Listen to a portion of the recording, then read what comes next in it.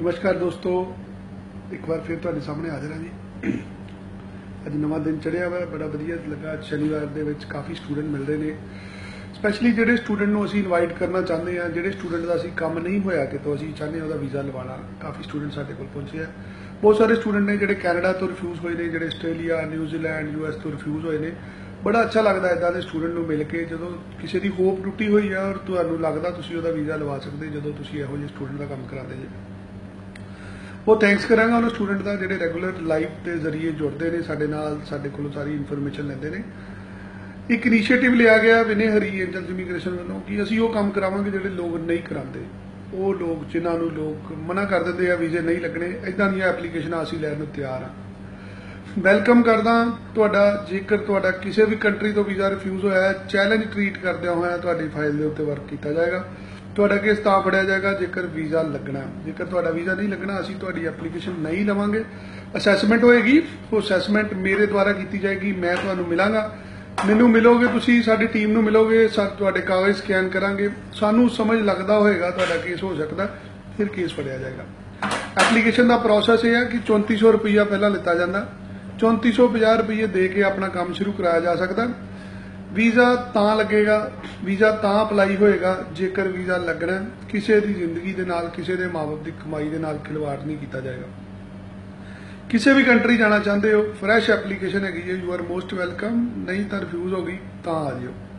ਨਹੀਂ ਸਾਡੇ ਕੋਲੋਂ ਕੰਮ ਕਰਾਣਾ ਸਰਵਿਸ ਚਾਰਜ ਜ਼ਿਆਦਾ ਲੱਗਦੇ, ਕਿਤੋਂ ਹੋਰ ਅਪਲਾਈ ਕਰ ਲਓ, ਬੜੇ ਚੰਗੇ ਏਜੰਟ ਬੈਠੇ ਆ ਰਿਫਿਊਜ਼ ਹੋ ਜਾਊਗਾ, ਆ ਜਿਓ, ਫਿਰ ਵੀ ਐਪਲੀਕੇਸ਼ਨ ਲੈਣ ਨੂੰ ਤਿਆਰ ਹੈਗੇ ਆ। ਗੁਰਪ੍ਰੀਤ ਸਿੰਘ ਟੈਨਸ਼ਨ ਨਾ ਲਓ, ਤੁਸੀਂ ਆ ਤੁਹਾਡਾ, ਤੁਸੀਂ ਲਿਖਿਆ ਆਸਟ੍ਰੇਲੀਆ ਤੋਂ ਰਿਫਿਊਜ਼ ਜੇ, ਕੋਈ ਗੱਲ ਨਹੀਂ ਮੇਰੇ ਵੀਰ ਕੱਲ ਵੀ ਦੋ ਐਪਲੀਕੇਸ਼ਨ ਸਾਡੇ ਕੋਲ ਆਈਆਂ।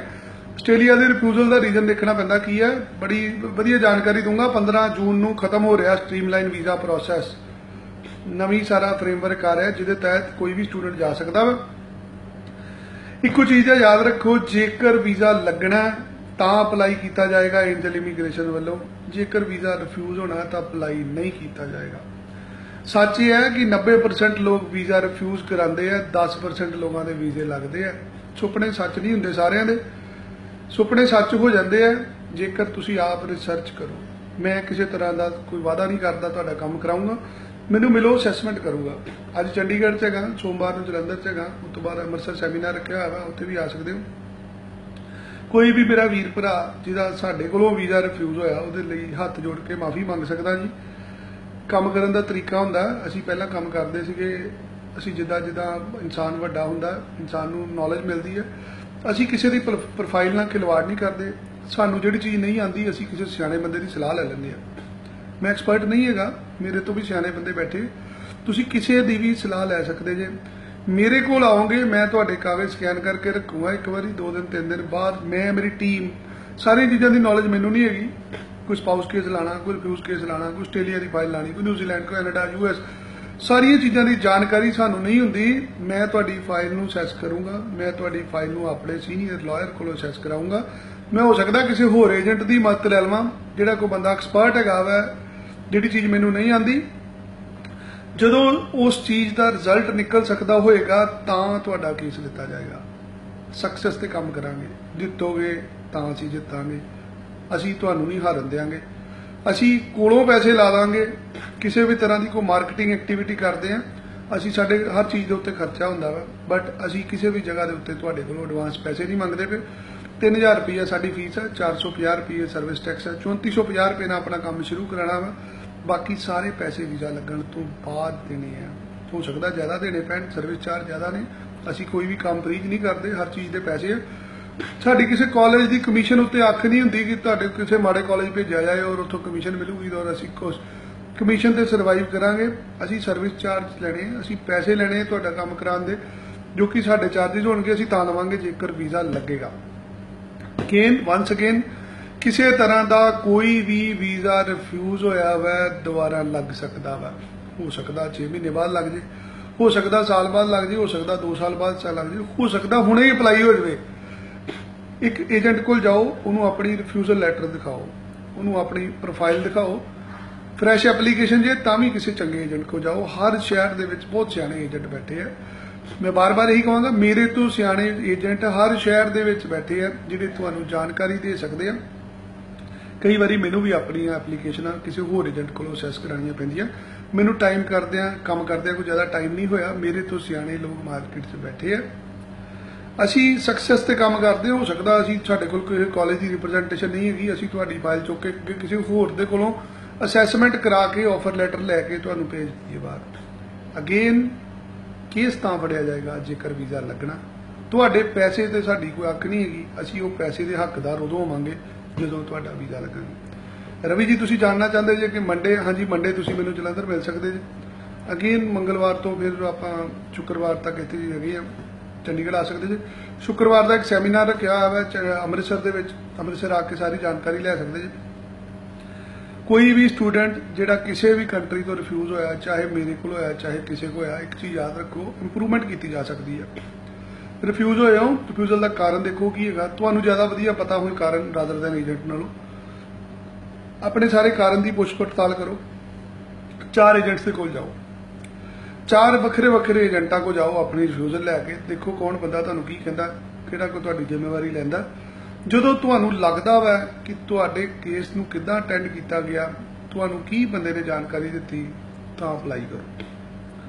ਹਰਜਿੰਦਰ ਸਿੰਘ ਜੀ ਲਿਖਦੇ ਪਏ ਨੇ hello sir what about New Zealand New Zealand ਵੀਰ ਔਖਾ ਹੈ ਥੋੜਾ ਜਿਹਾ। ਐਪਲੀਕੇਸ਼ਨ ਬਹੁਤ ਜ਼ਿਆਦਾ ਜਾਣ ਲੱਗ ਪਈ ਨਿਊਜ਼ੀਲੈਂਡ ਦੇ ਕਾਲਜਾਂ ਦੇ ਕੋਲੋਂ, ਜਿਹਦੇ ਕਰਕੇ ਅੰਬੈਸੀ ਬਹੁਤ ਸਖਤ ਹੋਈ ਦੀ ਹੈ ਅੱਜ ਨਿਊਜ਼ੀਲੈਂਡ ਜਾਣਾ ਚਾਹੁੰਦੇ ਜੇ 6 ਬੈਂਡ ਵਾਲਿਆਂ ਨੂੰ ਵੀਜ਼ਾ ਮਿਲਦਾ ਪਿਆ। ਸਾਡੇ ਪੰਜ ਬੈਂਡ ਤੇ ਕਾਫੀ ਕੋਰਸਾਂ ਦੀ ਐਲੀਜੀਬਿਲਟੀ ਹੈ ਬਟ ਵੀਜ਼ੇ ਦੇ ਚਾਂਸ ਘੱਟ ਹੁੰਦੇ ਆ। ਸਾਡੇ ਪੰਜ ਬੈਂਡ ਤੇ ਨਿਊਜ਼ੀਲੈਂਡ ਜਾਣਾ ਚਾਹੁੰਦੇ ਜੋ, ਬਹੁਤ ਥੈਂਕਸ ਕਰਦੇ ਹਾਂ ਜੀ, ਸਾਡੀ ਮਾਰਕੀਟ ਦੇ ਇਮੀਗ੍ਰੇਸ਼ਨ ਇੰਡਸਟਰੀ 'ਚ। ਰੈਵੋਲੂਸ਼ਨ ਲਿਆਂਦਾ ਸਰਦਾਰ ਪਰਮਦੀਪ ਸਿੰਘ ਜੀ ਨੇ। ਪਰਮਦੀਪ ਸਿੰਘ ਜੀ ਜੋ ਕਿ ਰੋਟੋਰੂਆ ਦੇ ਵਿੱਚ ਵਾਰੀਕੀ ਕਾਲਜ ਹੈ ਸਰਕਾਰੀ ਕਾਲਜ ਹੈ ਪੋਲੀਟੈਕਨਿਕ ਉਹਦੇ ਵਿੱਚ ਡਾਇਰੈਕਟਰ ਕੰਮ ਕਰਦੇ ਆ। ਤੁਸੀਂ ਵਰੀਕੀ ਇੰਸਟੀਚਿਊਸ਼ਨ ਦੇ ਵਿੱਚ ਅਪਲਾਈ ਕਰ ਸਕਦੇ ਜੀ 5.5 ਬੈਂਡ ਤੇ ਬਹੁਤ ਸਾਰੇ ਕੋਰਸ ਹੈਗੇ ਉਹਨਾਂ ਦੇ ਕੋਲ। ਅਕਸਰ ਪਰਮਦੀਪ ਸਿੰਘ ਤੁਹਾਨੂੰ ਮਿਲ ਜਾਂਦੇ ਨੇ, ਵੱਖਰੇ ਵੱਖਰੇ ਸੈਮੀਨਾਰਾਂ ਦੇ ਵਿੱਚ ਪੰਜਾਬ ਦੇ ਨਾਲ ਬਹੁਤ ਜ਼ਿਆਦਾ ਜੁੜੇ ਹੋਏ ਨੇ ਉਹ। ਹਰ ਇੱਕ ਏਜੰਟ ਉਹਨਾਂ ਦਾ ਨੋਨ ਹੈਗਾ ਵਾ। ਤੁਸੀਂ ਕਿਸੇ ਵੀ ਏਜੰਟ ਦੇ ਕੋਲ ਜਾ ਕੇ ਕਹਿ ਸਕਦੇ ਹੋ ਕਿ ਤੁਹਾਨੂੰ ਵਰੀਕੀ ਕਾਲਜ ਦੇ ਵਿੱਚ ਦਾਖਲਾ ਕਰਾਇਆ ਜਾਏ। ਇਹ ਰੋਟਰੂਆ ਦੇ ਵਿੱਚ ਕਾਲਜ ਹੈ, ਰੂਰਲ ਏਰੀਆ ਦੇ ਵਿੱਚ, ਜਿੱਥੇ ਓਪਰਚੁਨਿਟੀਜ਼ ਬਹੁਤ ਜ਼ਿਆਦਾ ਵਾ। ਜਿੰਨੇ ਇੱਕ ਸਟੂਡੈਂਟ ਅਸੀਂ ਭੇਜਿਆ ਸਟੂਡੈਂਟ ਨੂੰ ਕੰਮ ਵੀ ਮਿਲ ਗਿਆ ਸਟੂਡੈਂਟ ਉੱਥੇ ਪੱਕਾ ਵੀ ਹੋ ਜਾਂਦਾ। ਬਹੁਤ ਵੱਖਰੀ ਤਰ੍ਹਾਂ ਦੇ ਕੋਰਸ ਹੈਗੇ ਆ ਵਰੀਕੀ ਕਾਲਜ ਦੇ ਵਿੱਚ, ਜਿੱਥੇ 5.5 ਬੈਂਡ ਤੇ ਤੁਹਾਨੂੰ ਦਾਖਲਾ ਮਿਲ ਜਾਂਦਾ ਔਰ ਬਾਕੀ ਜਗ੍ਹਾ ਤੇ 6 ਬੈਂਡ ਚਾਹੀਦੇ ਹੁੰਦੇ ਆ। ਨਿਊਜ਼ੀਲੈਂਡ ਜਾਣਾ ਵਾ ਨਿਊਜ਼ੀਲੈਂਡ ਦੇ ਵਿੱਚ ਖਿਆਲ ਰੱਖੋ ਕਿਸੇ ਹੋਪ ਨੂੰ ਨਾ ਲੈ ਕੇ ਜਾਓ ਕਿ ਪੱਕੇ ਹੋ ਜਾਣਗੇ ਥੋੜੀ ਜੀ ਸਖਤੀ ਹੋ ਗਈ ਆ ਬਹੁਤ ਜ਼ਿਆਦਾ ਤੁਹਾਨੂੰ ਉੱਥੇ ਜੌਬ ਲੱਭਣੀ ਪਏਗੀ ਪੱਕੇ ਹੋਣ ਵਾਸਤੇ ਵੀਜ਼ਾ ਲੈਣ ਵਾਸਤੇ ਤੁਹਾਡੇ ਕੋਲ ਫੰਡ ਹੋਣੇ ਚਾਹੀਦੇ ਆ ਔਰ 6 ਮਹੀਨੇ ਪੁਰਾਣੇ ਹੋਣੇ ਚਾਹੀਦੇ ਜੇ 6 ਮਹੀਨੇ ਪੁਰਾਣੇ ਫੰਡ ਨਹੀਂ ਹੈਗੇ ਤਾਂ ਨਿਊਜ਼ੀਲੈਂਡ ਨੇ ਵੀਜ਼ਾ ਨਹੀਂ ਦੇਣਾ ਇੰਟਰਵਿਊ ਦੀ ਤਿਆਰੀ ਕਰਿਓ MBA 2012 after gap till date please inform to New Zealand visa apply कर सकते हैं ਸੰਦੀਪ ਤੂਰ ਵੀਰ ਕਰ ਸਕਦੇ ਹਾਂ ਅਪਲਾਈ ਬਟ ਜੇਕਰ ਆਪਣੇ ਕੋਲ ਕੁਝ ਹੈਗਾ ਵਾ ਕਾਗਜ਼ ਪੱਤਰ ਹੈਗਾ, ਕੋਈ ਬੈਂਕ 'ਚ ਤਨਖਾਹ ਆਂਦੀ ਸੀਗੀ, ਕੋਈ ਸਟਰੋਂਗ ਐਵੀਡੈਂਸ ਹੈਗਾ, ਤੇ ਵੀਰ ਜ਼ਰੂਰ ਕਰ ਸਕਦੇ ਹਾਂ ਬਟ ਜੇ ਕੋਈ ਕਾਗਜ਼ ਪੱਤਰ ਨਹੀਂ ਹੈਗਾ, ਆਪਾਂ ਵਿਹਲੇ ਰਹੇ ਹਾਂ, ਤੇ ਫਿਰ ਔਖਾ ਹੈ ਕੰਮ। ਜੇ ਸਿਰ ਤਨਖਾਹ ਵੀ ਨਗਦ ਮਿਲਦੀ ਸੀ, ਤਾਂ ਵੀ ਨਹੀਂ ਹੋਣਾ। ਹੀਰਾ ਜੀ, ਕੀ ਕਹਿੰਦੇ ਨੇ ਮਕੈਨੀਕਲ ਡਿਪਲੋਮਾ 2012 ਪਾਸ ਆਊਟ ਏ ਦਾ ਵਿਦਆਊਟ ਟਾਇਲਟ ਲੱਗ ਜਾਊ ਫਾਈਲ ਪਲੀਜ਼ ਰਿਪਲਾਈ ਵੀਰ, ਇਹ ਠੱਗੀ ਜ਼ਿਆਦਾ ਹੁੰਦੀ ਹੈ ਜਦੋਂ ਵਿਦਆਊਟ ਆਇਲਸ ਆਉਂਦਾ ਨਾ। ਉਦੋਂ ਵਿਦਆਊਟ ਆਇਲਸ ਦੇ ਨਾਂ ਦੇ ਉੱਤੇ ਲੋਕਾਂ ਕੋਲ ਪੈਸੇ ਕਿਰਾਏ ਕੀਤੇ ਜਾਂਦੇ ਆ। ਵਿਦਆਊਟ ਆਇਲਸ ਉਸ ਬੰਦੇ ਦਾ ਵੀਜ਼ਾ ਆਣਾ ਜਿਹੜਾ ਸਵੇਰੇ ਆਇਲਸ ਦੇ ਹੋਵੇ ਤਾਂ ਉਹਦੇ 6.5 ਬੈਂਡ ਆ ਜਾਣ। ਤੁਹਾਨੂੰ ਅੰਗਰੇਜ਼ੀ ਬੋਲਣੀ ਨਹੀਂ ਆਂਦੀ ਤੁਸੀਂ ਨਹੀਂ ਜਾ ਸਕਦੇ। ਅਸੀਂ ਪਿਛਲੇ 2 ਮਹੀਨੇ ਪਹਿਲਾਂ ਰੌਲਾ ਪਾਇਆ ਜੀ ਤੇਰਾ ਬਥੇਰੇ ਕੇਸ ਅਸੀਂ ਚੱਕੇ ਮਾਰਕੀਟ ਚੋਂ ਵਿਦਆਊਟ ਹੈ ਸਾਡਾ ਕੋਈ ਵੀਜ਼ਾ ਨਹੀਂ ਲੱਗਾ ਮੈਜੋਰਿਟੀ ਵੀਜ਼ੇ ਰਿਫਿਊਜ਼ ਹੋਏ। ਜਦੋਂ ਇੱਕ ਸ਼ੁਰੂਆਤ ਕੀਤੀ ਜਾਂਦੀ ਕਿਸੇ ਵੀ ਚੀਜ਼ ਦੀ, ਨਹੀਂ ਰਿਜ਼ਲਟ ਨਿਕਲਦਾ ਤੇ ਅਸੀਂ ਉਹ ਕੰਮ ਨਹੀਂ ਕਰਦੇ। ਵਿਦਆਊਟ ਆਇਲਸ ਠੀਕ ਹੈ, ਅਸੀਂ 100 ਸਵਾ ਸੌ ਕੇਸ ਅਪਲਾਈ ਕੀਤਾ ਹੋਣਾ। ਤਿੰਨ ਜਾਂ ਚਾਰ ਵੀਜ਼ੇ ਆਏ ਉਹਦੇ ਚੋਂ। ਮੈਜੋਰਿਟੀ ਲੋਕਾਂ ਦੇ ਵੀਜ਼ੇ ਰਿਫਿਊਜ਼ ਹੋਏ। ਕਿਉਂ ਹੋਏ? ਆਇਲਸ ਚਾਹੀਦੀ ਨਹੀਂ ਹੁੰਦੀ ਯੂਐਸ ਜਾਣ ਨੂੰ ਬਟ ਜਿਹਦੇ ਕੋਲ ਆਇਲਸ ਨਹੀਂ ਹੈਗੀ, ਉਹ ਅੰਗਰੇਜ਼ੀ ਨਹੀਂ ਬੋਲ ਪਾਉਂਦਾ। ਆਇਲਸ ਦੀ ਰਿਕੁਆਇਰਮੈਂਟ ਨਹੀਂ ਹੈਗੀ ਅਮਰੀਕਾ ਜਾਣ ਵਾਸਤੇ। ਅੰਗਰੇਜ਼ੀ ਦੀ ਰਿਕੁਆਇਰਮੈਂਟ ਹੈਗੀ ਹੈ ਪਾਣੀ ਵਰਗੀ ਅੰਗਰੇਜ਼ੀ ਹੋਣੀ ਚਾਹੀਦੀ ਹੈ ਤੁਸੀਂ ਅੰਗਰੇਜ਼ੀ ਮੀਡੀਅਮ ਚ ਪੜ੍ਹੇ ਹੋ, ਤੁਸੀਂ ਇੰਗਲੈਂਡ ਤੋਂ ਵਾਪਸ ਆਏ ਹੋਏ ਹੋ, ਤੁਸੀਂ ਆਸਟ੍ਰੇਲੀਆ ਚ ਪੜ੍ਹਦੇ ਸੀਗੇ, ਤੁਸੀਂ ਨਿਊਜ਼ੀਲੈਂਡ ਤੋਂ ਵਾਪਸ ਆਏ, ਕੈਨੇਡਾ ਤੋਂ ਆ ਗਏ। ਅੰਗਰੇਜ਼ੀ ਬਹੁਤ ਵਧੀਆ ਅਪਲਾਈ ਕੀਤੀ। ਅੰਗਰੇਜ਼ੀ ਤੁਹਾਨੂੰ ਵਧੀਆ ਬੋਲ ਲੈਂਦੇ ਹੋ ਪੇਪਰ ਨਹੀਂ ਦਿੱਤਾ, ਤੁਸੀਂ ਵਿਦਆਊਟ ਆਇਲਸ ਜਾ ਸਕਦੇ ਹੋ। ਤੁਹਾਨੂੰ ਅੰਗਰੇਜ਼ੀ ਬੋਲਣੀ ਨਹੀਂ ਆਉਂਦੀ। ਤੁਸੀਂ ਕਿਸੇ ਜਾਲਸਾਜ਼ ਦਾ ਜਾਂ ਕਿਸੇ ਸਾਜ਼ਿਸ਼ ਦਾ ਸ਼ਿਕਾਰ ਹੋ ਗਏ ਕਿ ਨਹੀਂ ਵਿਦਆਊਟ ਆਇਲਸ ਦੇ ਨਾਂ ਦੇ ਉੱਤੇ ਤੁਹਾਡੇ ਕੋਲੋਂ ਪੈਸੇ ਦਿੱਤੇ ਜਾ ਰਹੇ ਆ, ਔਰ ਤੁਹਾਨੂੰ ਸ਼ੋਰਟੀ ਦਿੱਤੀ ਜਾ ਰਹੀ ਵੀਜ਼ਾ ਐਮਬੈਸੀ ਨੇ ਦੇਣਾ। Canada the work permit in farming case at sketch 1 is not possible ਭਾਈ ਇਦਾਂ ਔਖਾ ਦੇ ਔਖਾ ਹੈ ਯਾਰ। ਮੈਂ ਨਹੀਂ ਦੇਖਿਆ ਪਿਛਲੇ 8 ਸਾਲਾਂ ਦੇ ਕੈਰੀਅਰ ਕਿ ਕਿਸੇ ਫਾਰਮਿੰਗ ਦੇ ਵਿੱਚ ਕਿਸੇ ਨਿਊਜ਼ੀਲੈਂਡ ਦਾ ਜਾਂ ਆਸਟ੍ਰੇਲੀਆ ਜਾਂ ਕੈਨੇਡਾ ਦੇ ਬੰਦੇ ਦਾ ਵਰਕ ਵੀਜ਼ਾ ਲੱਗਾ ਹੋਵੇ ਹੋ ਸਕਦਾ ਕਈ ਸਿਆਣੇ ਏਜੰਟ ਹੈਗੇ ਆ, ਪੁਰਾਣੇ ਚੰਡੀਗੜ੍ਹ 'ਚ ਬੈਠੇ ਨੇ। ਜਿਨ੍ਹਾਂ ਨੇ ਵਰਕ ਵੀਜ਼ਾ ਦਾ ਕੰਮ ਕੀਤਾ ਵਾ, ਜਿਨ੍ਹਾਂ ਨੇ ਲੋਕਾਂ ਨੂੰ ਵੀਜ਼ੇ ਲੈ ਕੇ ਦਿੱਤੇ ਮੈਨੂੰ ਇਹਦੇ ਬਾਰੇ ਜਾਣਕਾਰੀ ਨਹੀਂ ਹੈਗੀ ਵਰਕ ਪਰਮਿਟ ਬਾਰੇ। ਹਾਂ, ਅਸੀਂ ਵਰਕ ਪਰਮਿਟ ਲਵਾਏ, ਉਹਨਾਂ ਲੋਕਾਂ ਦੇ ਲਵਾਏ, ਜਿਹੜੀਆਂ ਕੁੜੀਆਂ ਪੜਨ ਜਾਂਦੀਆਂ, ਉਹਨਾਂ ਦੇ ਹਸਬੰਡ ਦੇ ਵਰਕ ਵੀਜ਼ੇ ਜ਼ਰੂਰ ਲੱਗਦੇ ਬਟ ਹੁਣ ਉਹ ਵੀ ਬੰਦ ਕਰ ਦਿੱਤੇ ਗਏ ਨਿਊਜ਼ੀਲੈਂਡ ਇਮੀਗ੍ਰੇਸ਼ਨ ਵੱਲੋਂ। ਹੁਣ ਕਿਸੇ ਵੀ ਏਜੰਟ ਨੇ ਵਰਕ ਵੀਜ਼ੇ ਦੀ ਕੋਈ ਗੱਲ ਕਰਨੀ ਹੈ ਕੋਈ ਐਪਲੀਕੇਸ਼ਨ ਲਾਣੀ ਹੈ ਕੋਈ ਸਲਾਹ ਦੇਣੀ ਹੈ ਉਹਨੂੰ ਆਈਏ ਦਾ ਆਈਏ ਐਡਵਾਈਜ਼ਰ ਕੋਲੋਂ ਫਾਈਲ ਲਵਾਉਣੀ ਪੈਗੀ ਅਸੀਂ ਇੱਕ ਲਾਇਸੈਂਸ ਐਡਵਾਈਜ਼ਰ ਨਹੀਂ ਹੈਗੇ। ਅਸੀਂ ਤੁਹਾਡੀ ਕੋਈ ਵੀ ਹੈਲਪ ਨਹੀਂ ਕਰ ਸਕਦੇ ਕਿਸੇ ਵੀ ਤਰ੍ਹਾਂ ਦੇ ਸਪਾਊਸ ਕੇਸ ਵਾਸਤੇ। ਸਪਾਊਸ ਕੇਸ ਲਈ ਤੁਹਾਡੀ ਫਾਈਲ ਸਾਡੇ ਕੋਲ ਆਂਦੀ ਅਸੀਂ ਅੱਗੇ ਤੁਹਾਨੂੰ ਇੰਟਰੋਡਿਊਸ ਕਰਾ ਦਿੰਦੇ ਹਾਂ ਲਾਇਸੈਂਸ ਇਮੀਗ੍ਰੇਸ਼ਨ ਅੱਜ ਜਲੰਧਰ, ਲੁਧਿਆਣੇ, ਅੰਮ੍ਰਿਤਸਰ ਚ ਬਹੁਤ ਸਾਰੇ ਲਾਇਸੈਂਸ ਐਡਵਾਈਜ਼ਰ ਹੈਗੇ ਆ, ਜਿਨ੍ਹਾਂ ਦੇ ਕੋਲੋਂ ਤੁਸੀਂ ਕੰਮ ਕਰਾ ਸਕਦੇ ਹੋ। ਹਰ ਸ਼ਹਿਰ ਦੇ ਵਿੱਚ ਲਾਇਸੈਂਸ ਐਡਵਾਈਜ਼ਰ ਦਾ ਕੋਈ ਨਾ ਕੋਈ ਆਫਿਸ ਹੈਗਾ ਵਾ। ਚੰਡੀਗੜ੍ਹ ਚ ਤਿੰਨ ਚਾਰ ਜਣਿਆਂ ਨੂੰ ਰੀਸੈਂਟਲੀ ਲਾਇਸੈਂਸ ਮਿਲਿਆ ਵਾ। ਤੁਸੀਂ ਅਕਸਰ ਟੀਵੀ ਤੇ ਐਡ ਵੀ ਦੇਖਦੇ ਹੋ। ਟ੍ਰੇਡ ਸੀਕ੍ਰੇਟ ਹੈ ਮੈਂ ਨਾਮ ਨਹੀਂ ਲੈ ਸਕਦਾ ਬਟ ਤੁਸੀਂ ਰਾਤ ਨੂੰ ਕਿਸੇ ਵੀ ਚੈਨਲ ਤੇ ਐਡ ਦੇਖ ਲਓ। ਤਿੰਨ ਚਾਰ ਬੜੀਆਂ ਵਧੀਆ ਐਡਸ ਆਉਂਦੀਆਂ ਜਿਹੜਾ ਦੇ ਕੋਲ ਲਾਇਸੈਂਸ ਹੈਗਾ, ਜਿਹੜੇ ਤੁਹਾਨੂੰ ਸਪਾਊਸ ਕੇਸ ਵਾਸਤੇ ਡਾਇਰੈਕਟ ਜਾਣਕਾਰੀ ਦੇ ਸਕਦੇ ਸਾਡੇ ਕੋਲੋਂ ਸਪਾਊਸ ਕੇਸ ਦੀ ਜਾਣਕਾਰੀ ਲੈਣਾ ਚਾਹੁੰਦੇ ਜੇ, ਅਸੀਂ ਤੁਹਾਡੇ ਐਪਲੀਕੇਸ਼ਨ ਕਿਸੇ ਲਾਇਰ ਨੂੰ ਅੱਗੇ ਭੇਜ ਦਾਂਗੇ, ਤੁਹਾਨੂੰ ਉਹਨਾਂ ਨਾਲ ਟਾਈਪ ਕਰਾ ਦਾਂਗੇ, ਜਿਹਦੇ ਜ਼ਰੀਏ ਤੁਸੀਂ ਆਪਣਾ ਨਿਊਜ਼ੀਲੈਂਡ ਜਾਣ ਦਾ ਸਪਾਊਸ ਵੀਜ਼ਾ ਲੈ ਸਕਦੇ ਜੀ। ਆਸਟ੍ਰੇਲੀਆ 'ਚ ਕੋਈ ਇਦਾਂ ਦੀ ਮਨਾਈ ਨਹੀਂ ਹੈਗੀ, ਕੈਨੇਡਾ ਦੇ ਵਿੱਚ ਅਗੇਨ ਅਸੀਂ ਆਈਸੀਸੀਆਰਸੀ ਮੈਂਬਰ ਜਿਹੜੇ ਇਮੀਗ੍ਰੇਸ਼ਨ ਲਾਇਰ ਹੁੰਦੇ ਉਹਨਾਂ ਦੇ ਥਰੂ ਬਾਈ ਰੂਟ ਕਰਦੇ ਆ, ਜਿਹਦੇ ਵਿੱਚ ਅਗੇਨ ਚਾਂਸ ਹੈਗੇ ਆ। ਭਾਜੀ not as through by agent Canada ਤੋਂ ਹੀ ਕੋਈ ਸਪਾਂਸਰ ਨਹੀਂ, ਵੀਰ ਸਪਾਂਸਰ ਵਾਲਾ ਕੰਮ ਅਗੇਨ ਨਹੀਂ ਕਰਦੇ, ਸੰਦੀਪ ਤੂਰ ਆਪਾਂ। ਆਪਾਂ ਸਿੱਧਾ ਸਿੱਧਾ ਕੰਮ ਆ, ਆਪਣਾ ਕਾਲਜ ਤੋਂ ਦਾਖਲਾ ਕਰਾ ਲੈਣਾ ਆਫਰ ਲੈਟਰ ਆ ਗਈ ਕੇਸ ਅਪਲਾਈ ਕਰ ਦੇਣਾ ਜਿਹੜੇ ਕੋ ਬਣਦੇ ਪੈਸੇ ਹੋਏ, ਜਦੋਂ ਵੀਜ਼ਾ ਲੱਗ ਗਿਆ ਤੇ ਆਪਾਂ ਲੈ ਲੈਣੇ। ਸਰ ਜੀ ਡਿਸਟੈਂਸ ਐਜੂਕੇਸ਼ਨ ਵਿੱਚ ਗ੍ਰੈਜੂਏਸ਼ਨ ਕੰਪਲੀਟ ਕੀਤੀ ਹੈ 2016 ਵਿੱਚ ਆਸਟ੍ਰੇਲੀਆ ਸਟੂਡੈਂਟ ਵੀਜ਼ਾ ਹੋ ਸਕਦਾ। ਹੋ ਸਕਦਾ ਹੈ ਜੇਕਰ ਯੂਨੀਵਰਸਿਟੀ ਇਸ਼ੂ ਸ਼ਰਮਾ ਜੀ, ਜੇਕਰ ਯੂਨੀਵਰਸਿਟੀ ਤੁਹਾਡੀ ਵਧੀਆ ਹੈਗੀ ਹੈ ਕਿਸੇ ਚੰਗੀ ਯੂਨੀਵਰਸਿਟੀ ਤੋਂ ਪੜ੍ਹੇ ਜ਼ਰੂਰ ਹੋ ਸਕਦਾ ਜੇ ਕੋਈ ਪ੍ਰਾਈਵੇਟ ਯੂਨੀਵਰਸਿਟੀ ਹੈ ਜਾਂ ਨਵੀਂ ਖੁੱਲੀ ਹੈ, ਫਿਰ ਮੌਕਾ ਵਾ ਆਸਟ੍ਰੇਲੀਅਨ ਹਾਈ ਕਮਿਸ਼ਨ ਇਦਾਂ ਦੀਆਂ ਯੂਨੀਵਰਸਿਟੀਆਂ ਨੂੰ ਨਹੀਂ ਮੰਨਦੀ ਤਾਂ ਉਹਦਾ ਪੰਜਾਬ ਸਕੂਲ ਬੋਰਡ ਨੂੰ ਵੀ ਮੰਨਣ ਨੂੰ ਤਿਆਰ ਸੀਗੇ, ਤਾਂ ਇਦਾਂ ਦੀਆਂ ਡਿਸਟੈਂਸ ਨੂੰ ਕਿੱਥੇ ਮੰਨੋਗੇ? ਤਰੁਣ ਖੋਸਲਾ ਜੀ, ਸਰ 4 ਇਅਰ ਦਾ ਗੈਪ ਹੈ ਮੇਰਾ ਸਟੱਡੀ ਦਾ ਯੂਕੇ ਦਾ, ਹੋ ਜਾਊ ਅਪਲਾਈ ਹੋ ਜਾਊ ਆਇਲਸ ਕਰਕੇ। ਹੋ ਜਾਊਗਾ ਬਟ ਅੱਜ ਯੂਕੇ ਨੂੰ ਕੋਈ ਲੋੜ ਨਹੀਂ ਹੈਗੀ ਵੀਰ, ਪੰਜਾਬੀ ਬੱਚਿਆਂ ਦੀ। ਉਹਨਾਂ ਦਾ ਸਰਦਾ ਵਾ ਬਾਕੀ ਸਾਰੀਆਂ ਜਗ੍ਹਾ ਤੋਂ। ਹਜੇ ਪਾਲਿਸੀ ਨਹੀਂ ਬਣੀ ਯੂਕੇ ਦੀ ਬਟ ਜਿੰਨਾ ਕਿ ਮੇਰੀ ਇੱਕ ਦੋ ਵੀਰ ਭਰਾਵਾਂ ਨਾਲ ਗੱਲ ਹੋਈ ਹੈ, ਏਜੰਟਾਂ ਨੇ ਬੜੀ ਜਲਦੀ ਯੂਕੇ ਵੀ ਦੁਬਾਰਾ ਮਾਰਕੀਟ 'ਚ ਆਏਗਾ। ਜਦੋਂ ਆਏਗਾ, ਰੌਲਾ ਪੈ ਜਾਣਾ ਸਾਰੀ ਜਗ੍ਹਾ ਤੇ। ਉਦੋਂ ਅਪਲਾਈ ਕਰ ਲਿਓ, ਫਿਲਹਾਲ ਵੀਜ਼ਾ ਵੂਜ਼ਾ ਨਹੀਂ ਆਂਦਾ ਪਿਆ ਐਵੇਂ ਨਾ ਪੈਸੇ ਖਰਾਬ ਕਰ ਬੈਠੇ you are doing a great job ਨਹੀਂ ਭਾਜੀ, ਮੈਂ ਕੋਈ ਗ੍ਰੇਟ ਜੌਬ ਨਹੀਂ ਕਰਦਾ, ਮੈਂ ਤਾਂ ਆਪ ਨਹੀਂ ਜ਼ਿਆਦਾ ਪੜ੍ਹਿਆ ਲਿਖਿਆ, ਮੈਂ ਕਿਸੇ ਨੂੰ ਕੀ ਗ੍ਰੇਟ ਜੌਬ ਕਰਨੀ, ਇਮਾਨਦਾਰੀ ਹੈ, ਇਮਾਨਦਾਰੀ ਤੁਹਾਡੇ ਨਾਲ ਇਮਾਨਦਾਰੀ ਆਪਣੇ ਕਾਰੋਬਾਰ ਨਾਲ ਤਾਂ ਆਪਾਂ ਕਰੀ ਜਾਂਦੇ ਹਾਂ ਗ੍ਰੇਟ ਜੌਬ ਤੁਸੀਂ ਮੇਰੇ ਵੀਰ, ਤੁਸੀਂ ਮੈਨੂੰ ਸੁਣਦੇ ਪਏ ਜੇ, ਮੇਰੇ ਲਈ ਇਹੀ ਬਹੁਤ ਵੱਡੀ ਗੱਲ ਹੈ ਕਿ ਮੇਰੇ ਕੋਲ ਸੁਣਨ ਵਾਲਾ ਨਹੀਂ ਸੀਗਾ, ਅੱਜ ਬੜਾ ਮਾਣ ਹੈ। ਚਲੋ ਫੇਸਬੁੱਕ ਦਾ ਬਹੁਤ ਥੈਂਕਸ ਹੈ, ਤੁਹਾਡੇ ਵੀਰਾਂ ਦਾ, ਤੁਸੀਂ ਮੈਨੂੰ ਸੁਣਦੇ ਤਾਂ ਹੈਗੇ ਜੇ। ਕੈਨੇਡਾ ਜਾਣ ਵਾਸਤੇ ਕੋਈ ਉਹ ਨਿਕਲ ਗਿਆ ਯਾਰ ਸਵਾਲ। ਆਸਟ੍ਰੇਲੀਆ ਦੀਆਂ ਲਗਾਤਾਰ ਜੀ ਲਗਾਤਾਰ ਜੀ ਰਿਫਿਊਜ਼ਲ ਕਿਉਂ ਆ ਰਹੀਆਂ ਹਨ? ਸੰਨੀ ਵੀਰ, ਗੱਲ ਇਦਾਂ ਵੀ ਮੈਂ ਵੀ 2 250 ਭੇਜਿਆ ਯਾਰ ਪਿਛਲੇ 6 ਮਹੀਨੇ ਸਾਲ 'ਚ। ਕੋਈ ਪੜਦਾ ਨਹੀਂ ਪਿਆ ਉੱਥੇ, ਸਾਰੇ ਪੜ੍ਹਾਈ ਛੱਡ ਕੇ। ਜਦੋਂ ਫੋਨ ਕਰੀਦਾ, ਭਾਜੀ, ਉੱਥੇ ਕਲਾਸ ਤਾਂ ਲਾਇਆ, ਉਹ enroll ਤਾਂ ਉਹ ਕਹਿੰਦਾ, ਵੀਰ, ਮੈਂ ਕੋਈ ਪੜਨ ਥੋੜੀ ਆਇਆ ਯਾਰ ਇੱਥੇ। ਮੈਂ ਤਾਂ ਕਰਜ਼ਾ ਚੁੱਕ ਕੇ ਆਇਆ। ਤੇ ਵੀਰ, ਤਾਂ ਆਸਟ੍ਰੇਲੀਅਨ ਵੀ ਹੁਣ ਸਮਝ ਲੱਗ ਗਈ ਕਿ ਨਹੀਂ, ਇਹ ਵੀਰ ਆਪਣੇ ਪੜਨ ਨਹੀਂ ਆਉਂਦੇ। ਫਿਰ ਰੀਅਲੀ ਯੂ ਆਰ ਗ੍ਰੇਟ ਸਰਵ ਜੀ ਮੈਂ ਕੋਈ ਗ੍ਰੇਟ ਨਹੀਂ ਹੈਗਾ। ਗ੍ਰੇਟ ਏਜੰਟ ਬਹੁਤ ਵਧੀਆ ਹੋਰ ਵੀ ਹੈਗੇ ਆ। ਮੈਂ ਸਿਰਫ ਸੱਚ ਬੋਲਦਾ ਔਰ ਮੈਨੂੰ ਸੱਚਾ ਬੋਲ, ਸੱਚ ਬੋਲਣਾ ਤੋਂ ਕੋਈ ਨਹੀਂ ਰੋਕ ਸਕਦਾ। ਜਿਹੜੇ ਮੇਰੇ ਏਜੰਟ ਵੀਰ ਭਰਾ ਨੂੰ ਮੇਰੀ ਕੋਈ ਗੱਲ ਮਾੜੀ ਲੱਗਦੀ, ਮੈਂ ਭਾਜੀ ਹੱਥ ਜੋੜ ਕੇ ਮਾਫੀ ਮੰਗ ਸਕਦਾ ਜੇ। ਮੈਂ ਨਹੀਂ, ਮੇਰੇ ਕੋਲ ਠੱਗੀ ਨਹੀਂ ਹੋਣੀ, ਤੁਸੀਂ ਜੋ ਤੁਹਾਡਾ ਦਿਲ ਕਰਦਾ ਕਰੀ ਜੋ ਮੈਂ ਕਿਸੇ ਦੇ ਅਗੇਂਸਟ ਨਹੀਂ ਬੋਲੂੰਗਾ, ਮੈਂ ਬਹੁਤ ਬੋਲਦਾ ਸੀ।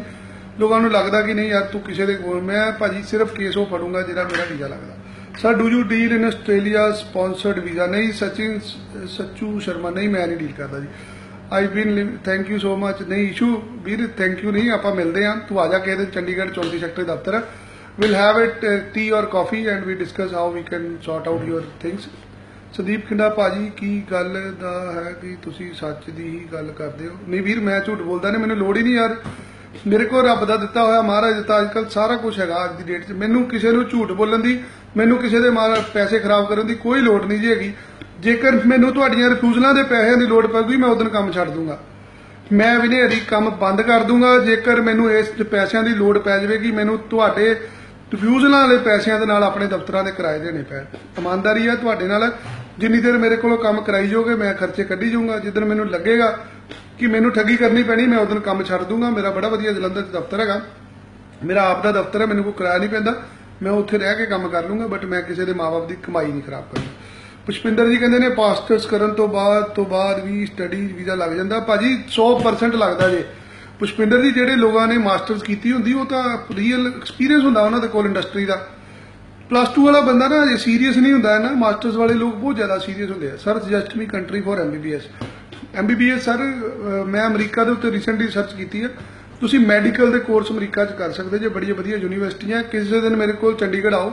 6.5 ਬੈਂਡ ਚਾਹੀਦੇ ਐਮਬੀਬੀਐਸ ਜਿਹਨੇ ਵੀ ਜਾਣਾ, ਮੈਂ ਉਹਦਾ ਅਮਰੀਕਾ ਦੇ ਵਿੱਚੋਂ ਮੈਡੀਕਲ ਪੜਨ ਦਾ ਸੁਪਨਾ ਪੂਰਾ ਕਰ ਸਕਦਾ ਜੀ। You are showing a right path to kids ਨਹੀਂ ਪਰਮਵੀਰ ਜੀ ਮੈਂ ਇਹਨੇ ਜੋਗਾ ਨਹੀਂ ਹੈਗਾ ਸੱਚ ਬੋਲਦਾ ਪਿਆ ਭਾਜੀ ਕੋਈ ਜਦੋਂ ਨਹੀਂ ਜਿਹੜੀ ਚੀਜ਼ ਦੀ ਪਤਾ ਹੋਊਗਾ ਸ਼ਰੇਆਮ ਕਹਿ ਦਾਂਗੇ ਨਹੀਂ ਪਤਾ ਬੜੇ ਵਧੀਆ ਏਜੰਟ ਬੈਠੇ ਆ ਜਲੰਧਰ ਦੇ ਵਿੱਚ।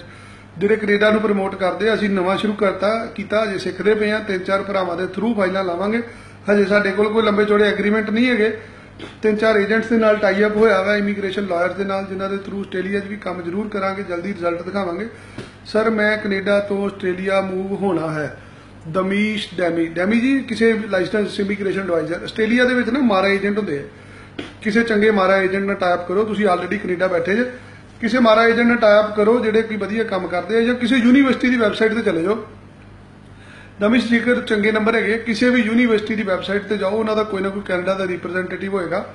ਉਹਦੇ ਨਾਲ ਗੱਲ ਕਰਕੇ ਤੁਸੀਂ ਅੱਗੇ ਜਾ ਸਕਦੇ ਆਮ ਸਟੂਡੈਂਟ ਔਨ ਵੀਜ਼ਾ ਅਗੇਨ ਤੁਹਾਡੇ ਕੋਲ ਜੇ ਨੰਬਰ ਚੰਗੇ ਆ, ਪਾਸ ਹੈ ਤੁਸੀਂ ਕਿਸੇ ਵੀ ਯੂਨੀਵਰਸਿਟੀ ਨਾਲ ਗੱਲ ਕਰੋ ਕ੍ਰਾਸ ਕ੍ਰੈਡਿਟ ਲਈ ਅਪਲਾਈ ਕਰੋ as a transfer student as a transfer student ਵੀਜ਼ੇ ਦੇ ਚਾਂਸ ਬਹੁਤ ਜ਼ਿਆਦਾ ਹੁੰਦੇ, ਜਾ ਸਕਦੇ ਜੀ। ਤਾਰੀਫ ਭਵਰਾ ਜੀ, ਸਰ, ਉਹ ਨਿਕਲ ਗਿਆ ਯਾਰ।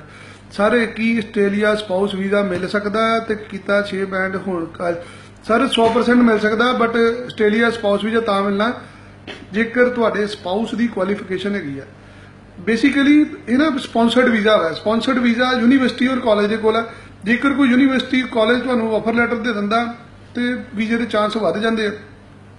ਏਜੰਟ ਦੇ ਹੱਥ 'ਚ ਨਹੀਂ ਹੈਗਾ ਐਮਬੈਸੀ ਦੇ ਹੱਥ 'ਚ ਨਹੀਂ ਹੈਗਾ। ਸਟ੍ਰੀਮਲਾਈਨ ਵੀਜ਼ਾ ਪ੍ਰੋਸੈਸ ਸ਼ੁਰੂ ਕੀਤਾ ਗਿਆ ਸੀ ਵੀਜ਼ਾ ਸਕਸੈਸ ਰੇਟ ਵਧਾਉਣ ਵਾਸਤੇ। ਜਦੋਂ ਪ੍ਰਾਈਵੇਟ ਕਾਲਜਾਂ ਵੱਲੋਂ ਜਾਂ ਕੁਝ ਯੂਨੀਵਰਸਿਟੀਆਂ ਵੱਲੋਂ ਮਿਸਯੂਜ਼ ਕੀਤਾ ਗਿਆ, ਤਾਂ ਵੀਜ਼ੇ ਰਿਫਿਊਜ਼ ਹੁੰਦੇ ਆ। ਅਦਰਵਾਈਜ਼ ਸਟ੍ਰੀਮਲਾਈਨ ਵੀਜ਼ਾ ਪ੍ਰੋਸੈਸ ਦੇ ਵਿੱਚ ਵੀਜ਼ਾ ਦਾ ਚਾਂਸ ਬਹੁਤ ਜ਼ਿਆਦਾ ਹੈ ਚਾਹੇ ਸਪਾਊਸ ਹੈ, ਚਾਹੇ ਸਟੂਡੈਂਟ ਹੈ, ਜਿੰਨੇ ਵੀ ਸਟੂਡੈਂਟ ਨੇ ਆਸਟ੍ਰੇਲੀਆ ਜਾਣਾ, ਜੇਕਰ ਉਹਦਾ ਦਾਖਲਾ ਹੋ ਜਾਂਦਾ ਕਿਸੇ ਚੰਗੀ ਯੂਨੀਵਰਸਿਟੀ ਦੇ ਵਿੱਚ, ਤਾਂ ਦਾਖਲਾ ਇੱਕ ਮਿੰਟ ਜੀ ਫੋਨ ਕਰਦਾ ਜੇਕਰ ਕਿਸੇ ਚੰਗੀ ਯੂਨੀਵਰਸਿਟੀ ਦਾਖਲਾ ਹੋ ਜਾਂਦਾ ਤਾਂ ਵੀਜ਼ਾ ਰਿਫਿਊਜ਼ ਨਹੀਂ ਹੁੰਦਾ। ਸਰ ਪੀਐਸਸੀਬੀ ਬੈਨ ਹੋ ਗਿਆ ਆਸਟ੍ਰੇਲੀਆ ਲਈ। ਵੀਰ, ਜਿੰਨੇ ਕੁ ਲੋਕ ਗਏ ਆ ਯਾਰ, ਉਹ ਪੜਦੇ ਨਹੀਂ ਪਏ। ਤੇ ਬੈਨ ਬੂਨ ਵਾਲੀ ਤਾਂ ਗੱਲ ਇਦਾਂ ਵੀ ਜੇ ਕੋਈ ਦਾਖਲਾ ਦਊਗਾ ਤੇ ਜਾਓਗੇ ਉਹਨਾਂ ਨੇ ਆਪਣਾ ਪੱਲਾ ਝਾੜਤਾ ਨਿਊਜ਼ ਦੇ ਕੇ ਕਿ ਨਹੀਂ ਜੀ, ਅਸੀਂ ਬੈਨ ਨਹੀਂ ਕੀਤਾ। ਉਹ ਬੈਨ ਨਹੀਂ ਕੀਤਾ ਬਟ ਤੁਹਾਡਾ ਕੋ ਕਾਲਜ ਦਾਖਲਾ ਵੀ ਨਹੀਂ ਨਾ ਦੇ ਰਿਹਾ। ਪੀਐਸਸੀਬੀ ਵਾਲੇ ਆਸਟ੍ਰੇਲੀਆ ਜਾਣਾ ਚਾਹੁੰਦੇ, ਰੁਕ ਜਾਓ 2 ਮਹੀਨੇ, ਬੜੇ ਵੱਡੇ ਲੈਵਲ ਦੇ ਉੱਤੇ ਸ਼ੁਰੂ ਹੋਣ ਲੱਗਾ ਵਾ simply streamline visa process June ਦੇ ਵਿੱਚ ਸ਼ੁਰੂ ਹੋਣਾ 15 ਮਈ 15 ਜੂਨ ਨੂੰ ਇਹ ਬੰਦ ਹੋ ਜਾਣਾ ਐਸਵੀਪੀ ਨਵਾਂ ਸਿਸਟਮ ਆਏਗਾ, ਉਹਦੇ ਥਰੂ ਅਪਲਾਈ ਕਰ ਲਿਓ। ਵਾਈ, ਵਾਇਦਾ ਕੀ ਹੈ ਬਾਹਰ ਜਾਣ ਦਾ? ਫਾਇਦਾ ਕੀ? ਹਾਂਜੀ, ਭਾਜੀ, ਫਾਇਦਾ ਕੋਈ ਨਹੀਂ ਹੈਗਾ, ਮੇਰੇ ਵੀਰ ਇੱਥੇ ਰੋਟੀ ਵਧੀਆ ਮਿਲਦੀ, ਖਾਓ। ਬੜੀ ਗੰਦੀ ਲਾਈਫ ਹੈ ਬਾਹਰ ਦੀ, ਬੜਾ ਜਾ ਕੇ ਸਟਰਗਲ ਕਰਨੀ ਪੈਂਦੀ ਹੈ, ਪੈਸੇ ਕਮਾਉਣ ਲਈ ਜਾਣਾ ਚਾਹੁੰਦੇ, ਬਿਲਕੁਲ ਨਾ ਜਾਇਓ। ਜਿਹਨੂੰ ਕੋਈ ਸਪੀਰ ਭਰਾ ਅੱਗੇ, ਜਿਹਦਾ ਕੋਈ ਰਿਸ਼ਤੇਦਾਰ ਸਾਹਮਣ ਵਾਲਾ ਹੈਗਾ, ਉਹ ਜ਼ਰੂਰ ਜਾਵੇ, ਜਿਹਦੀ ਕੋਈ ਅੱਗੇ ਮਦਦ ਕਰ ਸਕਦਾ ਵਾ। ਫਾਇਦਾ ਫੂਦਾ ਤੇ ਵੀਰ ਇੱਥੇ ਹੀ ਹੈਗਾ। ਜਿਹਦੇ ਕੋਲ ਇੱਥੇ ਪੈਸੇ ਹੈਗੇ, ਉਹਨੂੰ ਬਾਹਰ ਜਾਣ ਦੀ ਕੋਈ ਲੋੜ ਨਹੀਂ ਹੈਗੀ, ਆਪਣੇ ਲੋਕ ਜਾਂਦੇ ਰੋਜ਼ਗਾਰ ਲਈ ਜਾਂ ਚੰਗੀ ਸਿੱਖਿਆ ਲਈ। ਜੇਕਰ ਕਿਸੇ ਦੇ ਚੰਗੇ ਨੰਬਰ ਹੈਗੇ, ਉਹ ਬੰਦਾ ਬਾਹਰ ਜ਼ਰੂਰ ਜਾਵੇ। ਜੇ ਕੋਈ ਮਾਤੜ ਹੈਗਾ, ਜਿਹਦੇ ਕੋਲ ਪੈਸੇ ਨਹੀਂ ਹੈਗੇ ਕਮਾਉਣ ਨੂੰ, ਸ਼ੌਂਕ ਹੈਗਾ ਬਾਹਰ ਜਾਣ ਦਾ, ਅੱਗੇ ਕੋਈ ਰਿਸ਼ਤੇਦਾਰ ਹੈਗਾ ਸਾਹਮਣ ਵਾਲਾ, ਉਹ ਵੀ ਜ਼ਰੂਰ ਜਾਵੇ। ਕੋਈ ਬੰਦਾ ਜਿਹੜਾ ਕਰਜ਼ਾ ਚੁੱਕ ਕੇ ਜਾਣ ਡਿਆ, ਜਿਹਨੂੰ ਬਾਹਰ ਕੋਈ ਨਹੀਂ ਜਾਂਦਾ, ਬਿਲਕੁਲ ਨਾ ਜਾਇਓ ਆਪਣੇ ਪੈਸੇ ਖਰਾਬ ਕਰ ਬੈਠੇ। Monday you are sir Monday ਨੂੰ ਚੰਡੀਗੜ੍ਹ ਨਹੀਂ ਭਾਜੀ ਟਿਊਜ਼ਡੇ ਇਨ ਚੰਡੀਗੜ੍ਹ। ਹੁਣ ਮੰਡੇ ਲਾਉਂਦੇ ਹੋ ਜਲੰਧਰ, ਬੜੇ ਦਿਨ ਹੋ ਗਏ ਇੱਥੇ ਬੈਠੇ ਜੀ। ਸਰ ਆਸਟ੍ਰੇਲੀਆ ਸਟੂਡੈਂਟ ਵੀਜ਼ਾ ਬਾਰੇ ਇਨਫੋਰਮੇਸ਼ਨ ਲੈਣੀ ਸੀ। ਸਰ ਇਨਫੋਰਮੇਸ਼ਨ ਕਾਦੀ ਲੈਣੀ? ਜੇ ਆਪਣੇ ਚੰਗੇ ਨੰਬਰ ਆ ਤਾਂ ਲੱਗ ਜੂ ਵੀਜ਼ਾ। ਜੇ ਨੰਬਰ ਨਹੀਂ ਠੀਕ ਹੈਗੇ ਗੈਪ ਹੈਗਾ ਤਾਂ ਨਹੀਂ ਲੱਗਣਾ। I have done my study in New Zealand how can apply Australia ਕਿਸੇ ਯੂਨੀਵਰਸਿਟੀ ਨਾਲ ਗੱਲ ਕਰੋ, ਆਸਟ੍ਰੇਲੀਆ ਵਾਲੀ। ਉਹਨੂੰ ਆਪਣਾ ਨਿਊਜ਼ੀਲੈਂਡ ਵਾਲਾ ਸਰਟੀਫਿਕੇਟ ਭੇਜੋ। ਉਹਨੂੰ ਕੋ ਮੈਨੂੰ ਕ੍ਰਾਸ ਕ੍ਰੈਡਿਟ ਚਾਹੀਦੇ ਮੈਂ ਟ੍ਰਾਂਸਫਰ ਸਟੂਡੈਂਟ ਆਣਾ ਚਾਹਨਾ ਫਿਰ ਵੀਜ਼ਾ ਲੱਗ ਸਕਦਾ। ਭਾਜੀ do you deal in Canada tourist visa ਭਾਜੀ ਫਾਰਮ ਹੀ ਭਰਨਾ ਹੁੰਦਾ 10000 ਰੁਪਿਆ ਸਰਵਿਸ ਚਾਰਜ ਹੈਗੇ, ਉਹ ਵੀ ਵੀਜ਼ਾ ਲੱਗਦਾ, ਲੈ ਲੈਂਦੇ ਆ। ਚੰਡੀਗੜ੍ਹ ਆ ਜਾਓ ਫਾਰਮ ਭਰ ਦਿਆਂਗੇ, ਸਾਰੀ ਗਾਈਡ ਕਰ ਦਿਆਂਗੇ ਤੁਹਾਨੂੰ। ਪੈਸੇ ਤਾਂ ਲਵਾਂਗੇ ਜੇ ਵੀਜ਼ਾ ਲੱਗੂਗਾ। Sir help me I want to settle in Canada I have done MA in marketing innovation I want to get PR sir PR ਵਾਲਾ ਕੰਮ ਬੜਾ ਲੰਬਾ ਜੇ। ਇਹਨੂੰ ਟਾਈਮ ਲੱਗਦਾ 8-10 ਵਾਰੀ ਤੁਹਾਨੂੰ ਚੱਕਰ ਮਾਰਨੇ ਪੈਣੇ ਏਜੰਟ ਦੇ ਆਫਿਸ ਅਸੀਂ ਇਦਾਂ ਦੀਆਂ ਚੀਜ਼ਾਂ ਡੀਲ ਨਹੀਂ ਕਰਦੇ। ਹਾਂ, ਤੁਸੀਂ ਐਮਏ ਮਾਰਕੀਟਿੰਗ ਕੀਤੀ ਹੈ। ਯੂ ਆਰ ਮੋਸਟ ਵੈਲਕਮ ਅਸੀਂ ਤੁਹਾਡਾ ਕੋਈ ਚੰਗੇ ਕੋਰਸ ਦਾਖਲਾ ਕਰਾ ਕੇ ਭੇਜ ਦਿੰਨੇ 15-20 ਦਿਨ ਚ ਆਫਰ ਲੈਟਰ ਆ ਜਾਣੀ। 15-20 ਦਿਨ ਚ ਵੀਜ਼ਾ ਮਹੀਨੇ ਦੇ ਵਿੱਚ ਤੁਸੀਂ ਕੈਨੇਡਾ ਤੇ ਅਸੀਂ ਚੰਡੀਗੜ੍ਹ। ਭਾਜੀ, ਮੈਨੂੰ ਦੱਸੋ ਕੁਝ ਨਹੀਂ। ਮੈਨੂੰ ਪਤਾ ਹੀ ਲੱਗਾ ਤੁਸੀਂ ਜਾਣਨਾ ਕੀ ਆ। ਸਰ, ਕੈਨੇਡਾ ਦਾ ਕੁਝ ਹੋ ਸਕਦਾ ਸੇਮ ਕੇਸ ਸਪਾਊਸ ਵੀਜ਼ਾ ਮਿਲ ਸਕਦਾ ਬੀਏ ਕੀਤੀ ਹੈ 6 ਬੈਂਡ ਨੇ। ਸਰ ਬੀਏ ਮੇਰੇ ਵਰਗੀ ਨਾ ਨਾ ਕੀਤੀ ਹੋਵੇ, ਜਿੱਦਾਂ ਦੀ ਮੈਂ ਕੀਤੀ ਹੈ ਹਿਸਟਰੀ ਪੋਲੀਟੀਕਲ ਸਾਇੰਸ ਔਰ ਫਿਜ਼ੀਕਲ ਐਜੂਕੇਸ਼ਨ ਵਾਲੀ। ਜੇ ਕੋਈ ਇਕਨੋਮਿਕਸ ਵਾਲੀ ਕੀਤੀ ਜੇ ਜੇ ਕੋਈ ਮੈਥ ਵਾਲੀ ਕੀਤੀ ਤਾਂ ਫਿਰ ਜ਼ਰੂਰ ਹੈ। ਮੇਰੇ ਵਰਗੀ ਬੀਏ ਨਾ ਕੀਤੀ ਹੋਵੇ ਜੀ ਕਿਸੇ ਨੇ। ਚਲੋ ਸਰ, ਫਿਰ ਟਿਊਜ਼ਡੇ ਪੱਕਾ, ਫਿਰ ਚੰਡੀਗੜ੍ਹ ਬਹੁਤ ਪਰੇਸ਼ਾਨ ਆ। ਸਰ ਸਰ ਪਰੇਸ਼ਾਨ ਨਾ ਹੋਵੋ ਮੇਰੇ ਵੀਰ। ਪਰੇਸ਼ਾਨੀ ਘਰ ਰੱਖ ਕੇ ਆਇਓ। ਤੁਸੀਂ ਵੀ ਨੇਰੀ ਨੂੰ ਮਿਲਣ ਆ ਰਹੇ ਜੇ, ਜਿੱਥੇ ਠੱਗੀ ਨਹੀਂ ਹੋਣੀ ਤੁਹਾਡੇ ਨਾਲ। ਤੁਹਾਨੂੰ ਮੂੰਹ ਦੇ ਉੱਤੇ ਮਨਾ ਕਰ ਦੂੰਗਾ ਜੇ ਵੀਜ਼ਾ ਨਹੀਂ ਲੱਗਣਾ, ਪਰੇਸ਼ਾਨ ਨਹੀਂ ਹੋਣਾ ਵੀਰ, ਇੰਡੀਆ 'ਚ ਬਹੁਤ ਕੁਝ ਹੈਗਾ। ਪੈਸੇ ਨਹੀਂ ਖਰਾਬ ਕਰਾਂਗੇ, ਜੇਕਰ ਹੋ ਸਕਦਾ ਹੋਊਗਾ, ਫਿਰ ਕੱਢਾਂਗੇ। ਡਿਪਲੋਮਾ ਦੱਸੋ ਸਰ ਪਲੀਜ਼ ਪਲੀਜ਼ ਟਾਈਮ ਕਿੰਨੇ ਬੈਂਡ ਚਾਹੀਦੇ and 6 month job experience 6 band ਚਾਹੀਦੇ ਆ ਜੀ। ਸਾਰੇ ਜਣੇ ਲਿਖ ਲਓ ਜੀ 6 ਬੈਂਡ ਤੋਂ ਥੱਲੇ ਦਾਖਲੇ ਦੁਖਲੇ ਘੱਟ ਹੀ ਹੁੰਦੇ ਆ। ਸਾਢੇ ਪੰਜ ਬੈਂਡ ਵਾਲਿਆਂ ਦੀ ਕਿਸਮਤ ਚੰਗੀ ਹੁੰਦੀ ਆ, ਵੀਜ਼ੇ ਲੱਗ ਜਾਂਦੇ ਆ। 6 ਸ਼ੂ ਵਾਲੇ ਨੂੰ ਵੀ ਕੁਝ ਲੱਭਦਾ ਜੀ। ਜੇ ਕੋਈ 6 ਨਹੀਂ ਆਂਦੇ ਸਾਢੇ ਪੰਜ ਪੁੰਜ ਵਾਲਾ ਹੈਗਾ ਤੇ ਉਹ ਭਾਈ ਬੜੀ ਵਧੀਆ ਲੋਕ ਪ੍ਰਮੋਟ ਕਰਦੇ ਪਏ ਆ ਸਾਈਪਰਸ ਸਾਈਪਰਸ ਬਹੁਤ ਸੋਹਣੀ ਕੰਟਰੀ ਹੈ ਜੀ, ਮੈਂ ਮਾੜਾ ਨਹੀਂ ਕਹਿੰਦਾ। ਮੇਰੇ ਨਾਲ ਬਹੁਤ ਏਜੰਟ ਪਰੇਸ਼ਾਨ ਨੇ ਮੇਰੇ ਤੋਂ। ਮੇਰੇ ਨਾਲ ਲੜਦੇ ਨੇ ਕਿ ਤੂੰ ਸਾਈਪਰਸ ਨੂੰ ਮਾੜਾ ਕਹਿੰਦਾ, ਤੂੰ ਵੀ ਸਾਈਪਰਸ ਤੋਂ ਸ਼ੁਰੂ ਕੀਤਾ ਸੀ। ਮੈਂ ਇਹ ਕਾਰੋਬਾਰ ਜਦੋਂ ਸ਼ੁਰੂ ਕੀਤਾ ਸੀ, ਮੈਂ ਸਾਈਪਰਸ ਭੇਜੇ ਸੀ ਜੀ ਕਾਫੀ ਬੰਦੇ। ਮੈਨੂੰ ਉਹ ਜੀ ਕੰਟਰੀ ਚੰਗੀ ਨਹੀਂ ਲੱਗੀ ਤੇ ਇਸ ਕਰਕੇ ਮੈਂ ਨਹੀਂ ਕਰਦਾ। ਬਹੁਤ ਵੀਰ ਚੰਗੇ ਮੇਰੇ ਹੈਗੇ ਜਿਹੜੇ ਕੰਮ ਕਰਦੇ, ਤੁਸੀਂ ਉਹਨਾਂ ਕੋਲ ਸਾਈਪਰਸ ਦਾ ਵੀਜ਼ਾ ਜ਼ਰੂਰ ਲਵਾਓ। ਬਹੁਤ ਸੋਹਣੀ ਕੰਟਰੀ ਹੈ, ਬਸ ਸਾਰਾ ਕੁਝ ਆਪਣੇ ਲੈਵਲ ਤੇ ਚੈੱਕ ਕਰ ਲਓ। ਸਿੰਗਾਪੁਰ ਅਗੇਨ ਮੈਂ ਗਿਆ, ਤਿੰਨ ਚਾਰ ਵਾਰੀ ਘੁੰਮਣ, ਬੜਾ ਸੋਹਣਾ ਸ਼ਹਿਰ ਹੈ ਜੀ ਸਿੰਗਾਪੁਰ। ਹੋਪ ਨਾ ਲੈ ਕੇ ਜਾਓ ਪੈਸੇ ਕਮਾਉਣ ਦੀ। ਘੁੰਮੋ, ਪਰ ਫਿਰੋ, ਬੜਾ ਵਧੀਆ। ਸਰ ਪਰਸਨਲ ਨੰਬਰ ਮਿਲ ਸਕਦਾ। ਫਾਦਰ ਸਾਹਿਬ ਨਾਲ ਗੱਲ ਕਰਨੀ ਸੀ। ਵੀਰ, ਤੂੰ ਚੰਡੀਗੜ੍ਹ ਆ ਜਾ, ਸੋਮਵਾਰ, ਮੰਗਲਵਾਰ ਨੂੰ। ਆਪਾਂ ਉਸੇ ਵੇਲੇ ਗੱਲ ਕਰ ਲਾਂਗੇ। ਇਦਾਂ ਔਖਾ ਹੈ ਯਾਰ, ਮੈਂ ਹੋਰ ਵੀ ਕੰਮ ਬਹੁਤ ਹੈਗੇ। ਆਸਟ੍ਰੇਲੀਆ ਦਾ ਵੀਜ਼ਾ ਦੱਸ ਦਿਓ ਯਾਰ। ਤੁਸੀਂ ਇਦਾਂ ਕਰੋ ਜਿਹਨੇ ਮੇਰੇ ਨਾਲ ਕੋਈ ਗੱਲ ਕਰਨੀ ਨਾ, ਇੱਥੇ ਵਾਰੀ-ਵਾਰੀ ਆਪਣਾ ਆਪਣਾ ਕੁਐਸਚਨ ਲਿਖੀ ਜਾਓ। ਮੈਨੂੰ ਜਦੋਂ ਟਾਈਮ ਲੱਗਦਾ ਨਾ, ਮੈਂ ਤੁਹਾਡੇ ਨਾਲ ਗੱਲਾਂ ਕਰੀ ਜਾਂਗਾ ਤਾਂ ਕਿ ਸਾਰਿਆਂ ਨੂੰ ਬੈਨੀਫਿਟ ਮਿਲ ਜਾਵੇ। ਇੱਕ ਮਿੰਟ। ਸਰ 2 ਮਿੰਟ ਹੋ ਗਏ ਆਸਟ੍ਰੇਲੀਆ ਵੀਜ਼ਾ ਅਪਲਾਈ ਕੀਤਾ, ਐਮਬੈਸੀ 'ਚ ਲੱਗ ਸਕਦਾ ਵੀਜ਼ਾ। ਸਰ, ਜਿਨ੍ਹਾਂ ਨੂੰ ਅਪਲਾਈ ਕੀਤਾ ਨਾ, ਲੋਕ ਘੱਟ ਬੈਠਣਾ 70% ਤੋਂ ਥੱਲੇ ਪੜੇ ਹੋ। 70% ਤੋਂ ਥੱਲੇ ਨੰਬਰ ਹੈ ਪੰਜਾਬ ਸਕੂਲ ਐਜੂਕੇਸ਼ਨ ਬੋਰਡ ਜੇ ਫਾਈਲ ਆਸਟ੍ਰੇਲੀਆ ਮੈਸੇਜ ਪਈ ਹੈ ਉਹ ਪਈ ਰਹਿਣੀ, ਉਹਦਾ ਕੋਈ ਹੱਲ ਨਹੀਂ ਨਿਕਲਣਾ, ਨਾ ਪੰਗਾ ਲਿਓ। ਹੋਰ ਕੋਈ ਕੰਮ ਕਰ ਲਓ, ਵੀ ਹੋਰ ਕਿਸੇ ਪਾਸੇ ਤੁਰ ਭੋਰ ਕੇ ਕੰਟਰੀ ਦਾ ਅਪਲਾਈ ਕਰ ਲਓ। ਆਜੋ ਚੰਡੀਗੜ੍ਹ ਆਜੋ ਮੰਗਲਵਾਰ ਨੂੰ। ਕੈਨੇਡਾ ਦਾ ਅਪਲਾਈ ਕਰਾਣੇ ਆ ਕੋਈ ਨਿਊਜ਼ੀਲੈਂਡ ਦਾ ਹੱਲ ਕੱਢਦੇ ਆ। ਕੋਈ ਅਮਰੀਕਾ ਦੇਖ ਲੈਣੇ ਕੋਈ ਜਰਮਨ ਦੇਖ ਲੈਣੇ ਬੜੀਆਂ ਵਧੀਆ ਆਪਸ਼ਨ ਹੈਗੀਆਂ। ਵੀਰ ਭੇਜੋ ਹੁਣ ਹੋਰ ਕੋਈ ਮੈਸੇਜ ਕਿਸੇ ਨੇ ਭੇਜਣਾ, ਨਹੀਂ ਤਾਂ ਫਿਰ ਆਪਾਂ ਕਰੀਏ ਕੰਮ ਖਤਮ, ਫਿਰ ਹੋਰ ਅਗਲੀ ਕਾਰਵਾਈ ਪਾਈਏ। ਆਸਟ੍ਰੇਲੀਆ ਦਾ ਵੀਜ਼ਾ ਦੱਸ ਦਿਓ ਯਾਰ, ਡਿਪਲੋਮਾ ਤੋਂ ਬਾਅਦ 2 ਸਾਲ ਦਾ ਗੈਪ ਹੈ। ਹਨੀ ਬੇਦੀ ਜੀ, ਹਨੀ ਬੇਦੀ ਜੀ, ਰਹਿਣ ਦਿਓ, ਨਾ ਅਪਲਾਈ ਕਰਿਓ, ਪੈਸੇ ਖਰਾਬ ਹੋ 2 ਸਾਲ ਦਾ ਗੈਪ ਹੈ, ਜੇ ਕੋਈ ਤਨਖਾਹ ਤਨਖੂ ਆਈ ਹੈ ਖਾਤੇ ਤਾਂ ਜ਼ਰੂਰ ਅਪਲਾਈ ਕਰਿਓ, ਨਹੀਂ ਤਾਂ ਔਖਾ ਹੀ ਹੈ ਕੰਮ। ਭਾਜੀ ਬੀਟੈਕ 2014 11 ਚ ਕੀਤੀ ਸੀ, ਉਹ ਤੋਂ ਬਾਅਦ ਜੌਬ ਕਰ ਰਿਹਾ now want to do master ਜ਼ਰੂਰ ਸੰਦੀਪ ਕਿੰਡਾ ਜੀ ਯੂ ਆਰ ਮੋਸਟ ਵੈਲਕਮ ਆਓ ਆਪਾਂ ਮੰਗਲਵਾਰ ਬੈਠ ਕੇ ਚਾਹ ਪੀਨੇ ਆ ਕਾਫੀ ਪੀਨੇ ਆ ਨਾਲੇ ਗਾਈਡ ਕਰਦੇ ਆ ਕਿ ਬੀਟੈਕ ਤੋਂ ਬਾਅਦ ਕੀ ਕਰਨਾ ਚਾਹੁੰਦੇ ਆ ਅੱਗੇ ਆਪਾਂ ਬੜੇ ਵਧੀਆ ਕੋਰਸ ਹੈਗੇ ਆ, ਅਮਰੀਕਾ 'ਚ ਲੱਭ ਕੇ ਲਿਆਏ ਆ, ਤਾਂ ਕਿ ਆਪਣੇ ਵੀ ਪੰਜਾਬੀ ਵੀਰਾਂ ਨੂੰ ਬਾਹਰ ਭੇਜ ਸਕੀਏ। ਅੱਜ ਦੇ ਦਿਨ ਦੀ ਲੋ ਛੁੱਟੀ, ਦੁਬਾਰਾ ਫਿਰ ਮਿਲਦੇ ਆ ਸ਼ਾਮ ਨੂੰ ਚੰਡੀ, ਚੰਡੀਗੜ੍ਹੋਂ ਜਲੰਧਰ ਜਾਣਾ ਵਾ। ਹੋ ਸਕਦਾ ਰਸਤੇ 'ਚ ਕਿਤੇ ਟਾਈਮ ਮਿਲੂਗਾ, ਕਿਤੇ ਕਨੈਕਟੀਵਿਟੀ ਮਿਲੂਗੀ, ਤਾਂ ਦੁਬਾਰਾ ਬੈਠਨੇ ਆ ਜੀ। ਧੰਨਵਾਦ ਬਹੁਤ ਬਹੁਤ ਥੈਂਕਸ ਥੈਂਕ ਯੂ